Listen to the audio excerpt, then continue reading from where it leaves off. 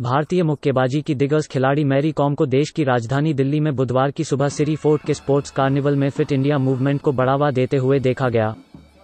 सिरी fort sports complex में प्रधानमंत्री नरेंद्र मोदी के फिट इंडिया मूवमेंट को आगे बढ़ाते हुए सिरी फोर्ट के सदस्यों ने स्पोर्ट्स कार्निवल का आयोजन किया।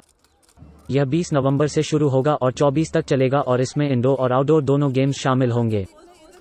बहुत अच्छा लगा। और ये श्री फोर्ट आके जो क्राउड देख देख के बहुत अच्छा लगा। और आ, अपना प्राइम मिनिस्टर ने फिट इंडिया मूवमेंट के थ्रू से आ, लोग अवेयर होने लगा। फिटनेस के लिए बहुत इंथुजम होने लग रहा।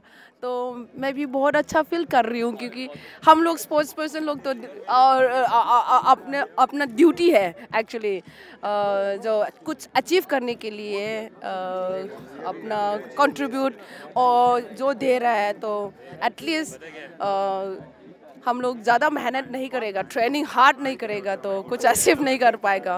और people the all the you know officials people are those working daily in the office ये लोग भी यू नो फिटनेस के लिए ज़्यादा uh, लेने शुरू कर लिया ये बहुत अच्छा बात है और uh, ये आगे में करते रहेगा बहुत बड़ी बात है। करके रहेगा अच्छी बात है। और हम लोग चाहिए कि सारे कंट्री को फिट रहे। Thank you